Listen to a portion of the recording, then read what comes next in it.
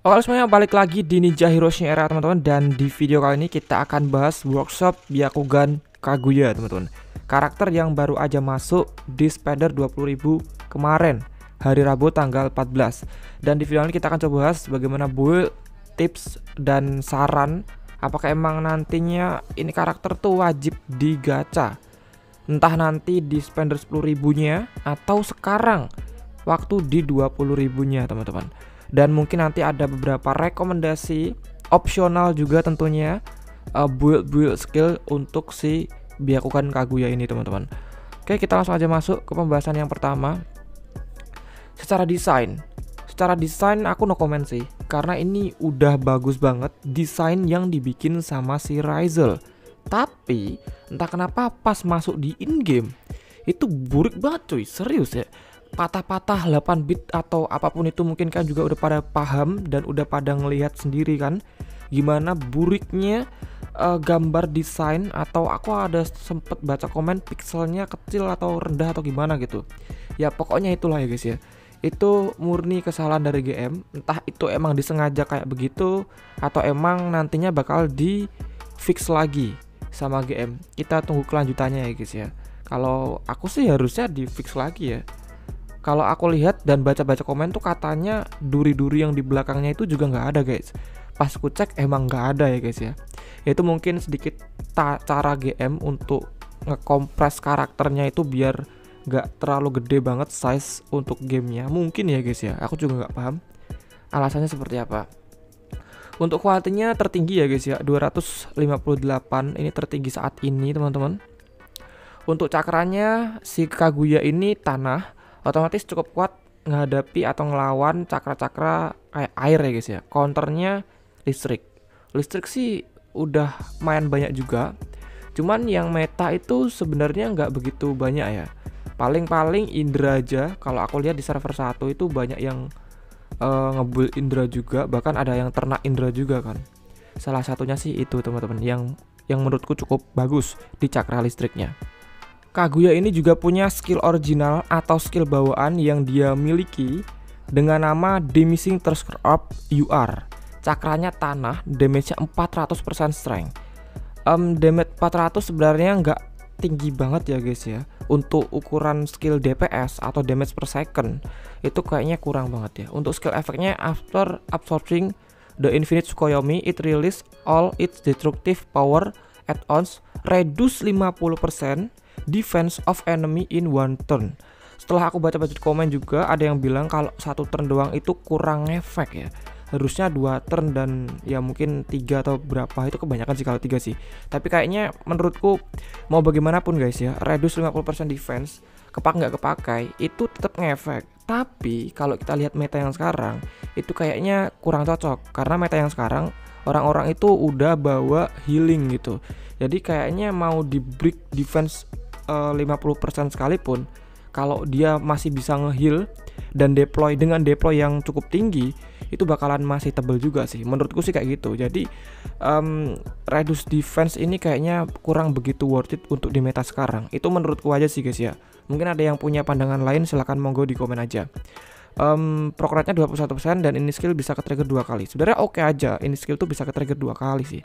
Yang disayangkan tuh dari damage-nya yang menurutku lebih kecil ya daripada uh, skill-skill yang berefek di ninja-ninja sebelum ini gitu. Nanti bakal aku kasih contoh lah salah satunya.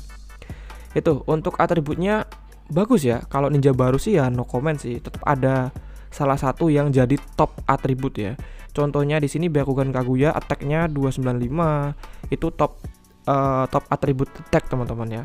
Bersama sama sama si siapa itu lupa aku Defense-nya 296, ini nggak tertinggi. Tertingginya masih si Nagato sama Obito, sorry attack-nya. Ya.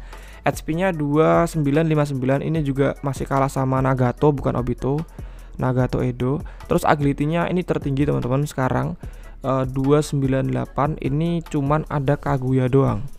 Yang sebelumnya 297 itu ada banyak tuh, ada 5 atau berapa Ninja yang punya agility 297 tapi sekarang tertinggi miliknya si Kaguya ini guys mantap jiwa ini untuk um, deskripsi awalnya kita lanjut ke build skillnya Yang pertama ada ninjutsu skill, di mana untuk rekomendasiku banget ya, mungkin kayak begini guys. Ya ini salah satu susunan skill untuk cakra tanah terbaik menurutku teman-teman. Kalau kalian belum dapet yang salah satunya, sebenarnya ada pilihan lain sih guys ya. Cuman uh, ini salah satu contoh yang menurutku cukup bagus ya. Untuk slot 5, untuk slot 4-nya tinggal kalian kurangin satu aja. Untuk skill DPS-nya yang paling pojok kanan itu boleh banget. Pilihlah antara salah satu itu.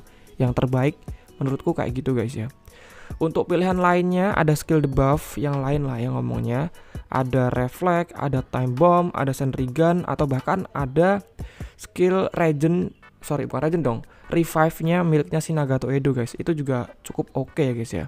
Kan kalau kita pasangkan ke cakra tanah itu kan nggak ada tanda panah ke bawah juga kan. Jadi ya is oke okay gitu. Nggak apa-apa. Ini soalnya cakranya air guys untuk skill revive-nya Nagato Edo. Ya sama kayak Senringan juga untuk skill debuff-nya atau buff-nya kalian bisa pilih antara dua skill ini yang menurutku cocok di cakra tanah ya guys ya.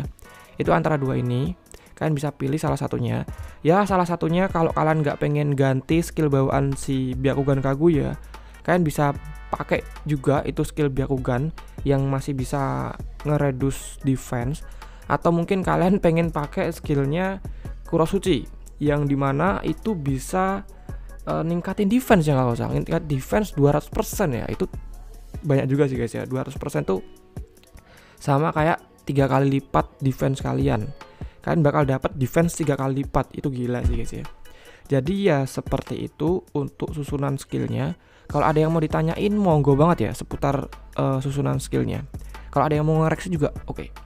Untuk TB nya tetap jelas ya guys ya. Beberapa TB UR di bawah ini itu udah cukup terbaik menurutku.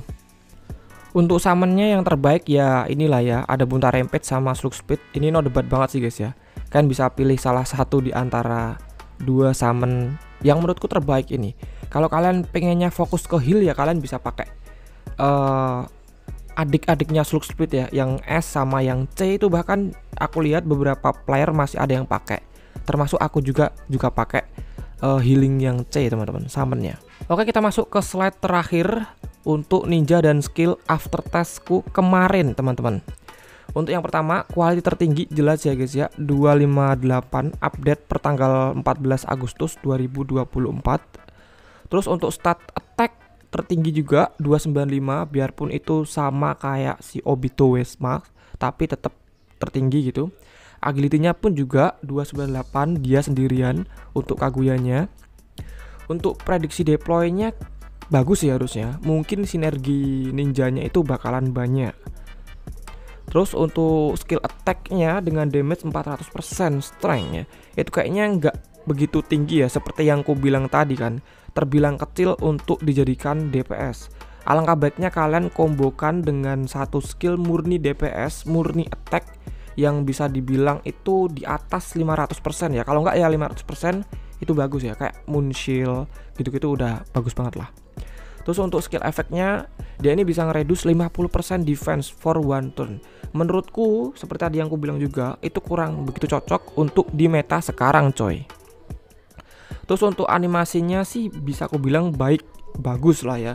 Ya bisa dikatakan animasi-animasi ledakan kayak gitu tuh ciri khas buatan si Raizul banget sih. Uh, mungkin ada beberapa part yang diubah dari segi gambar-gambarnya tapi tetap ledakannya itu ciri khasnya Razel banget sih. Menurutku kayak gitu guys ya. Dan untuk kesimpulan terakhir pull or skip untuk si Byakugan Kaguya.